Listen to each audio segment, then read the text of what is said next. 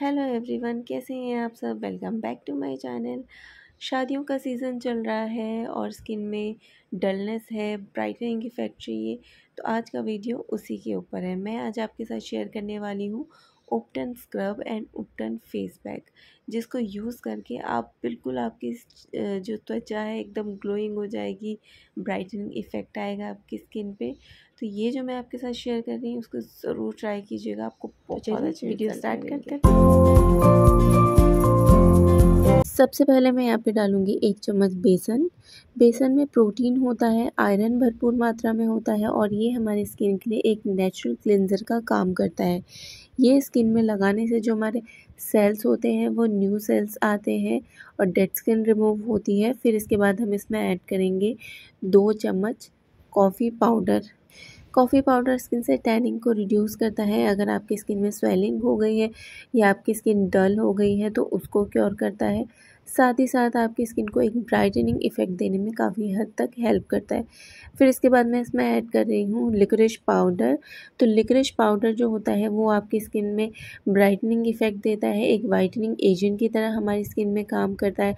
अगर आप स्किन की ब्राइटनिंग में इंटरेस्टेड है या अपनी स्किन को जो है सन टैन रिमूव करना चाहते हैं दाग धब्बे हटाना चाहते हैं तो मुलठी का पाउडर का यूज़ ज़रूर कीजिए क्योंकि ये विटामिन सी से भरपूर होता है।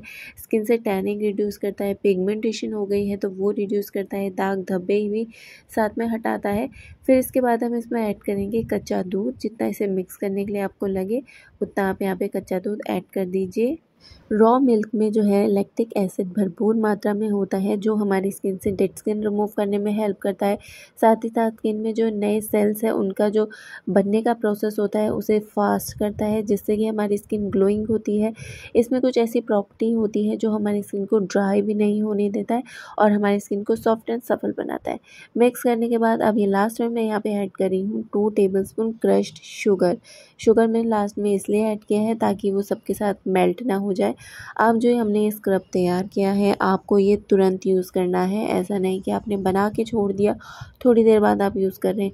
क्योंकि जो शुगर के जो ग्रैनुअल है, वो मिक्स हो जाएँगे तो फिर वो अच्छे से स्किन पे स्क्रब नहीं कर पाएँगे। आप इसको तुरंत ही अपनी बॉडी पे स्किन पे, जहाँ भी आप इसको यूज़ करना चाहें, आप यूज़ कर सकते हैं। शुगर में होता है ग्लाइकोलिक एसिड और ग्लाइकोलिक एसिड जो है, स्किन में एक पीलिंग सोल्यूशन की तरह काम करता है। स्किन में अगर दाग धब्बे हो गए हैं या रूखी बेजान हमारी स्किन हो गई है तो उसको क्योर करता है। साथ ही साथ जो इसके ग्रैनल है, वो हमारे पोर्स को डीपली क्लीन करने का काम करते हैं। स्किन को अच्छे से एक्सफोलिएट करते हैं और ड्राई भी नहीं होने देते। जितने भी इंग्रेडिएंट मैंने यहाँ पे यूज़ किए हैं, वो स्किन की ब्राइटनिंग के लिए इफ़ेक्टेड है और आपकी जो ब्रेड स्किन है, उसको बहुत ही अच्छे से रिमूव कर देते हैं और स्किन में एक नेचुरल क्लेंजर की तरह जो है आपकी स्किन में काम करते हैं।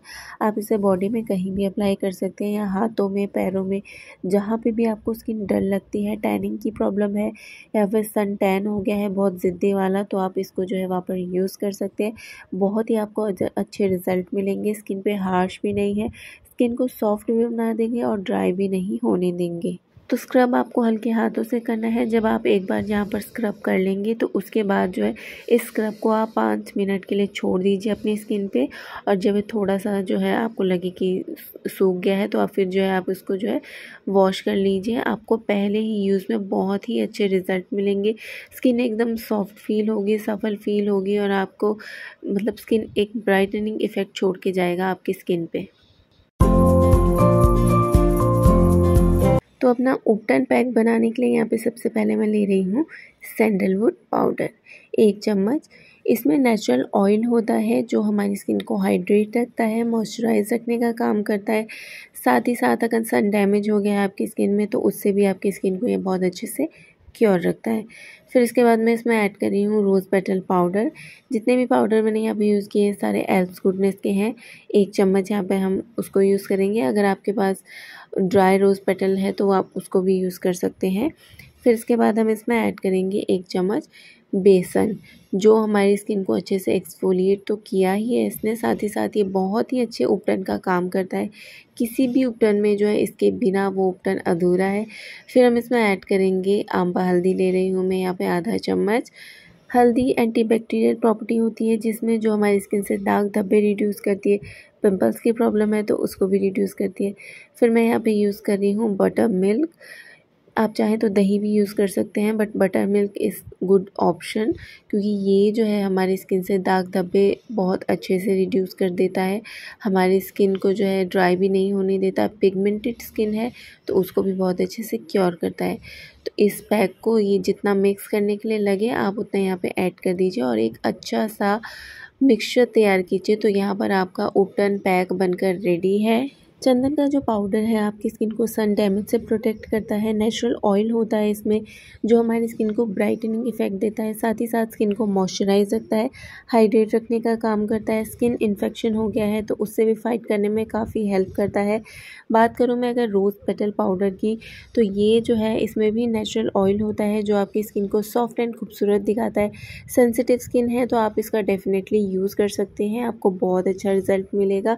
स्किन इससे ग्लोइंग बनती है इसमें होता है vitamin E and vitamin C जो दोनों ही स्किन की ब्राइटनिंग में बहुत ज़्यादा हेल्प करते हैं। बेसन लगाने से जो है उसके जो ग्रैनुअल होते हैं, वो आपकी स्किन में जब जाते हैं तो आपके पोर्स को डीपली क्लीन करते हैं। साथ ही साथ आपकी स्किन में ब्लड सर्कुलेशन का जो फ्लो है, उसे फास्ट करते हैं, जिससे हमारी स्किन ग्लोइंग बनती है, यंगर बनती है। या दाग धब्बे की कोई प्रॉब्लम है तो वो रिड्यूस हो जाता है, स्किन को गहराई से साफ़ करता है, एक्स्ट्रा सीबम हो जाता है, उसे निकालने में हेल्प करता है, जिससे कि हमारी स्किन में अगर पिम्पल्स की प्रॉब्लम है या फिर एक्ने हो गए हैं, उसके दाग धब्बे हैं तो वो नहीं होता है। साथ ही साथ जो है ये हमारी स्किन के जो सेल्स होते हैं नई सेल्स को निकालने में बहुत ही अच्छा हेल्प करता है जिससे कि हमारी स्किन जो है ग्लोइंग बनती है हाइड्रेट रहती है हमारी बेसन को अगर आप as a face wash use करेंगे तो आप अगर इसको कंटिन्यू यूज़ करते हैं तो दो या तीन दिन में आपको बहुत ही अच्छा रिज़ल्ट मिलता है देखने के लिए। तो यहाँ पर मैंने फेस उपटन जो हमारा था उसको अप्लाई किया है। अब जो है उसको छोड़ दिया है थोड़ी देर के लिए। जब ये सूख जाएगा तो देन जो है हम इसे स्क्रब करते हुए सर सर्कुलर मोशन में छोटे छोटे तब जो है इसको ठंडे पानी से जो है वॉश कर देंगे। पहले यूज़ में आपको बहुत ही अच्छे रिज़ल्ट मिलेंगे। तो इस उपटन को आप एक बार ज़रूर ट्राई कीजिएगा और अगर आपको रिज़ल्ट मिलते हैं अच्छे तो आकर वीडियो को लाइक कर दीजिए एंड चैनल को सब्सक्राइब भी ज़रूर कर दीजिए। इसके बाद टोनर अप्लाई कीजिए, जो मैंने आपके साथ शेयर किया है। स्किन को मॉइस्चराइज करिए। सो मिलती हूँ नेक्स्ट वीडियो में। तब तक के लिए take care and bye bye